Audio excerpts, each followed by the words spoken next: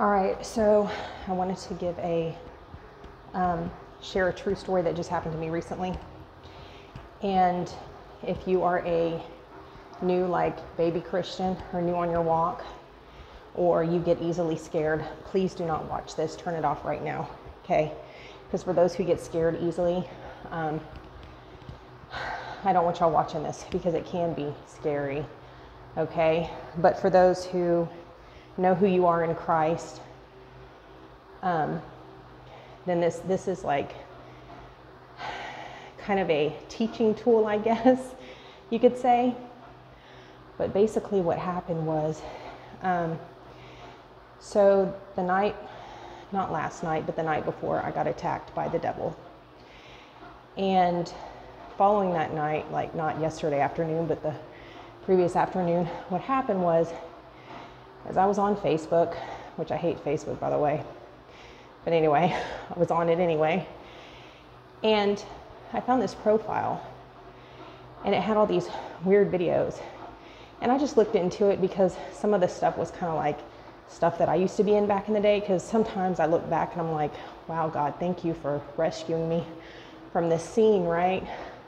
From the rape scene and everything. And anyway, there was this girl.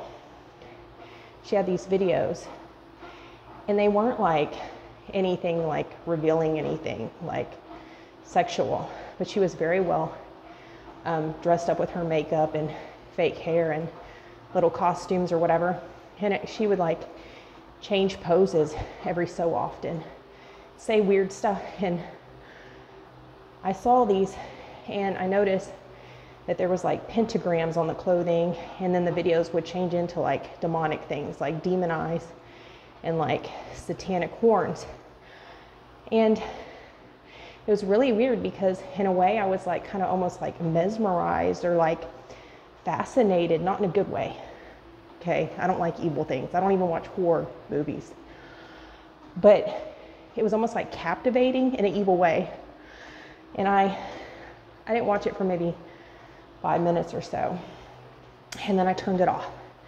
And I went about my day as I usually do. Anyway, so it comes nighttime. Okay, and again, this was not last night, but the night before. And um, I tried to go to sleep, and I was hearing weird noises like someone's rattling the door. And this was in the spiritual realm, not in the physical, obviously. So it woke me up. I was like, okay, I'm tripping. I'm gonna go back to sleep.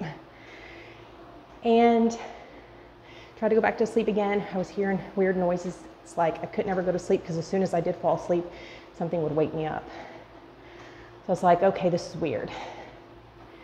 So then I go to lay on my couch. I go to fall asleep on my couch.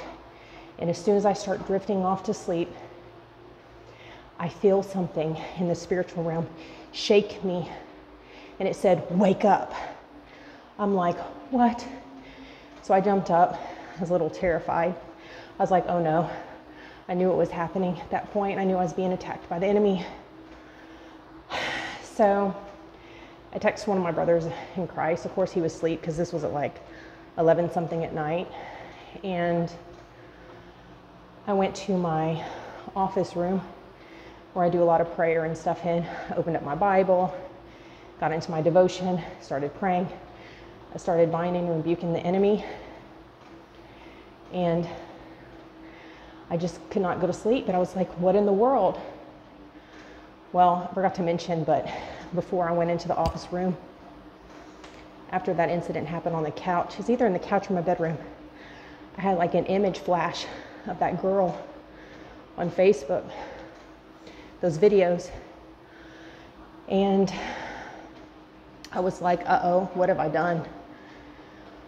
I like opened a door yeah, I opened a door all right. I opened a door directly to Satan just by watching them. And so I was a little scared. Even though I know I'm not supposed to be afraid, like it was trippy. So I go in my son's room. I lay down on the floor next to his bed. And I'm finally able to go to sleep. Then I had the most horrifying dream. I um, was in a room with a bunch of people, and these people were actual demons, but in regular people form.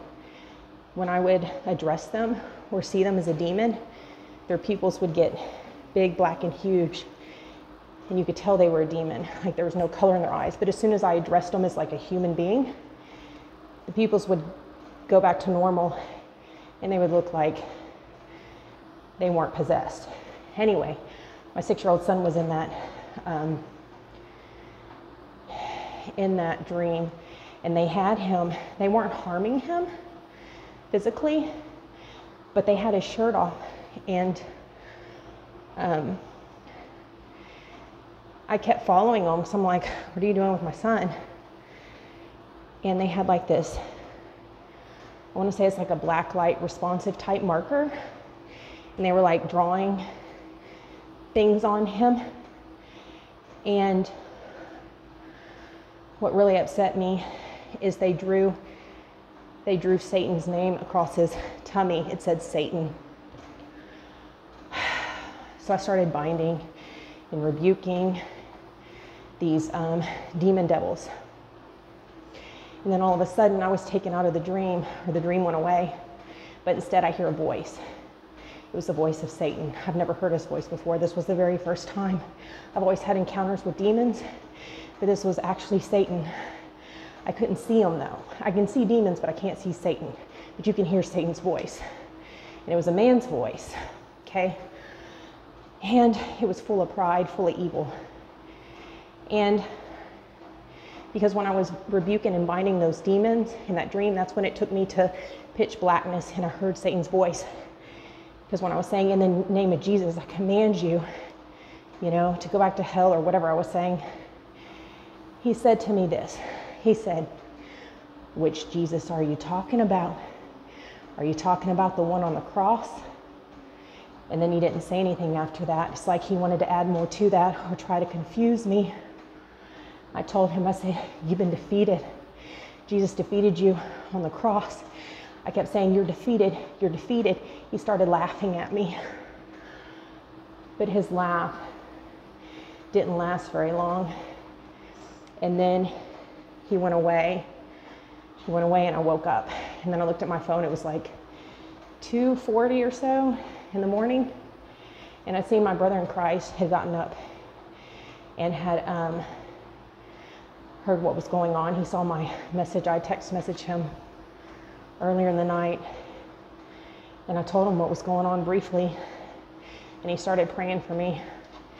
So I went back in my room I was freaked out, of course, and um, started reading Psalms 91. I found a video on YouTube. It has Psalms 91 on repeat for like an hour. And so, with his prayer and the rebuking and the Lord coming in and falling asleep to that Psalms 91, so that way I had the word, you know, playing in my sleep. I was able to get like one hour of sleep. But I'm telling you all this because that wouldn't have happened had I not seen those videos. And it's accessible on Facebook. Like it's put out in like millions of views. And you would never think that it would give you or give the devil straight access to your spirit like that. And we just got to be careful. Like, what we're listening to, what we see. And so I find it not a coincidence. I know it was the devil again jacking with me because yesterday night um, I went onto YouTube and I typed in because I get my son to watch, you know, Jesus movies, kids Jesus movies, and I type in kids Jesus movies, and I press enter. So you know all the kids Jesus movies are supposed to pop up. Well, the movie right before it popped up in the kids section, and it was a face of a demon from a horror movie just staring. And I was like, oh no, Satan, I rebuke you again. Because I knew that was the devil jacking with me.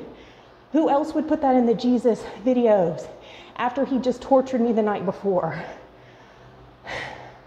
And one thing I will say about these demons, I can give other dreams, I have other testimonies of demon encounters, is when you start casting them out, they'll stand there in front of your face. Sometimes they'll laugh at you, smile. They'll make you think that what you're doing in the name of Jesus is not working because they want you to be afraid and run. But if you just face them and you stand firm in your faith, they will eventually flee. They can be quite stubborn, but this battle is real. And I don't believe in watching horror movies. I don't watch any horror movies. I don't even celebrate Halloween. I call it Halloween because it's literally like hell manifesting itself on this earth on that day. And there's different witches doing whatever. And you're like exposing kids to like these horrific haunted houses thinking it's all cute and funny, but it's not. It's absolutely not. So, you know, I'm not judging for anyone that wants to I'm, hey, that's between you and God. But, you know, my encounters with the enemy is usually when I opened myself up to things. Um, there was a time when I was a baby Christian, I didn't know any better. I was watching some kind of vampire movie series. I forget what it was called, but it had that doppelganger girl in there, whatever her name was, I don't remember. And Anyway, I didn't get but halfway through the series. I started having nightmares, really bad nightmares. And the Holy Spirit showed me it's because you're watching this movie. Don't you know, as soon as I stopped watching that movie, guess what? The nightmares went away. So that's what I'm saying. We can't be participating in all this worldly evil stuff. Okay, it's not of God, it's from the devil. And it's here to like keep us desensitized. So, anyway, I'm to go now.